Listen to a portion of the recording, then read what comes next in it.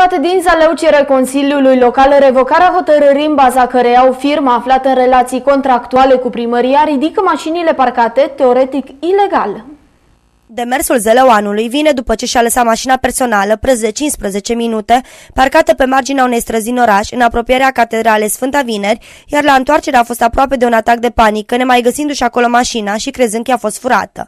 Citez, după aproximativ 15 minute am revenit la locul în care parcasem și am constatat că autovehiculul personal dispăruse. În primul moment am crezut că mașina a fost furată, situație ce mi-a creat o stare de panică, neliniște și îngrijorare. Un șofer dintr-un autovehicul staționar aflat cu aproximativ 5 metri mai jos de locul cu pricina, m-a atenționat că mașina mea a fost ridicată pentru parcare neregulamentară, spune bărbatul în plângerea prealabilă adresată Consiliului Local Municipal, de mers necesar înaintea deschiderii unei acțiuni în instanță, aflată evident în intenția șoferului. Bărbatul mai spune în plângerea sa că nu văzuse niciun semn de circulație care să indice restricționarea staționării. Mai mult, în acel loc, înainte de a efectua staționarea, mai existau și alte autovehicule parcate. Bărbatul spune că hotărârea în baza căreia se ridică mașinile considerate a fi parcate neregulamentar este ilegală ilegală, întrucât consiliile locale nu sunt competente să adopte hotărâri în domeniul circulației rutiere și cere revocarea parțială a acesteia. În proiectul de hotărâre supus aprobării consilierilor locali în ședința de astăzi, executivul primăriei Zalău susține că atât hotărârea cât și articolul incriminat de Zălăuan sunt temenice și legale. În plus, după cum am putut constata și noi, zona este împânzită de indicatoare care avertizează asupra faptului